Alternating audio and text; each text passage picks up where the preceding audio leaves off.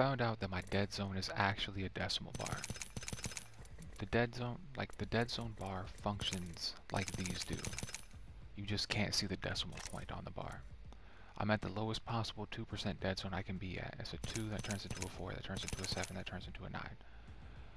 If I try to make it move 0.1 to the left, it turns into a 1.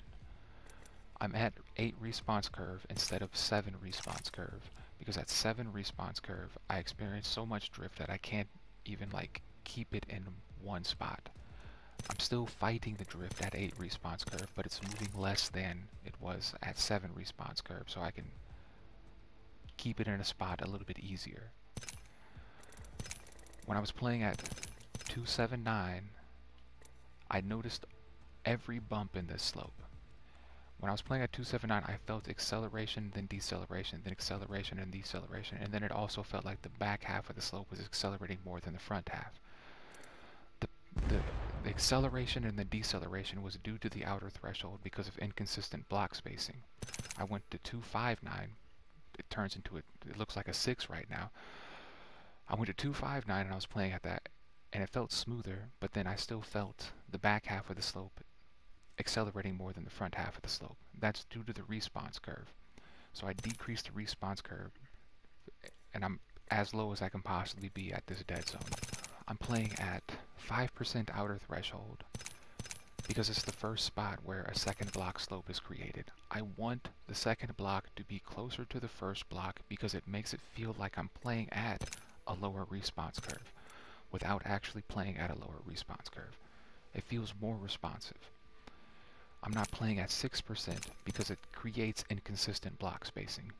There's another slope I could play at, at 9%, but I would have to sit here and stare at each block and make sure that the, the spacing up the slope is consistent. At 5%, the second block and the third block and the fourth block and the fifth block I have all moved one time. And then the sixth block and the seventh block have moved two times. And I'm assuming the eighth block has moved twice and then the third block, or the ninth block may have moved twice and then the tenth block may have moved three times.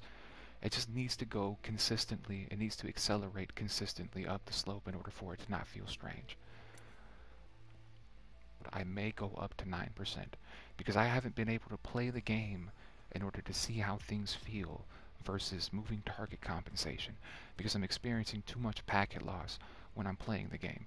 And it's going to be another week until my internet service provider can come out here and work on the lines to try and figure out why my upload speed is varying so much. Because currently it's like below one one megabyte per second but sometimes it'll be up to 15 like it's just weird.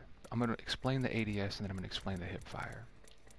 I'm at 146 on my ADS because when I'm close to a target in basically melee range and I'm doing this back and forth just seeing how it feels to push through the target compensation it doesn't I don't physically tense up if I'm at 145 I physically tense up and feel like I have to push it like I, I'm trying to get strong and push it but I can't do it because the game's not going to give me any more speed. I'm at 146 because it doesn't feel like I don't physically tense up. I'm not struggling to get on target.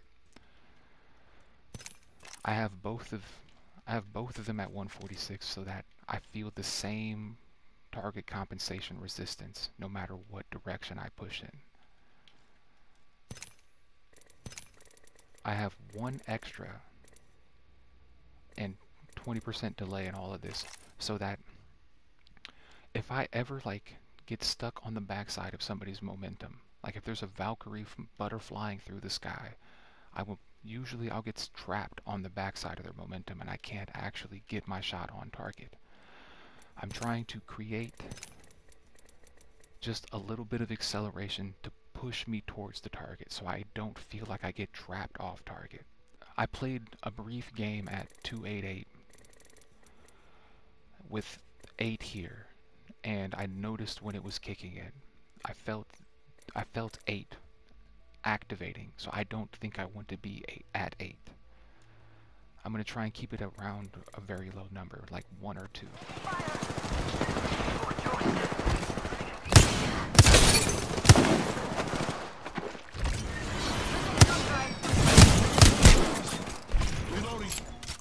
I have the hip fire. I have 278 on my hip fire because of this. When I'm moving back and forth and I'm shooting or moving back and forth hip fire on this target, there's going to be a point where the aim assist basically unlocks and like it stops tracking for me and it's going to like knock me off target. When I get knocked off target, I'm paying attention to how comfortable and smoothly I'm able to get myself back on target, and 278 seems to be responsive and comfortable. I don't feel like I'm moving too quickly and I don't feel like I'm moving too slowly.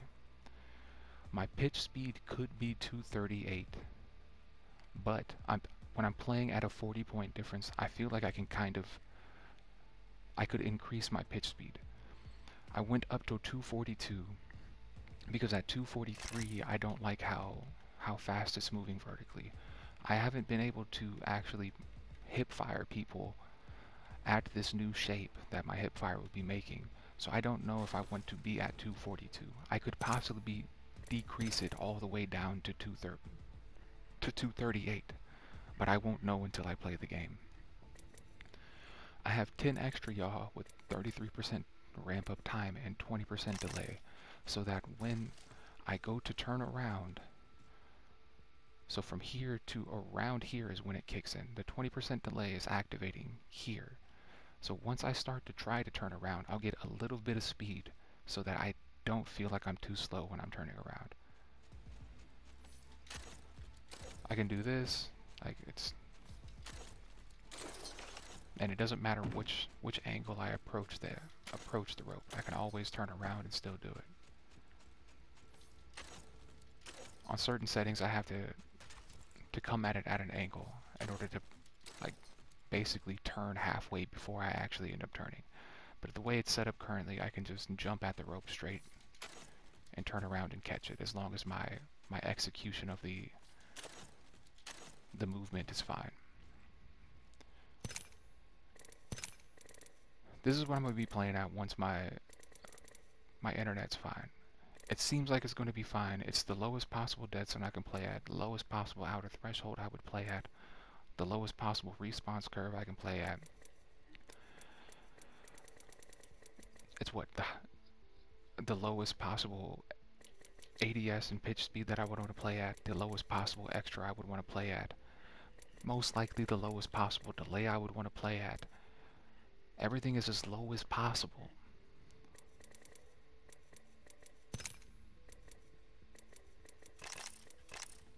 I just don't know what it's going to be like until I can shoot people.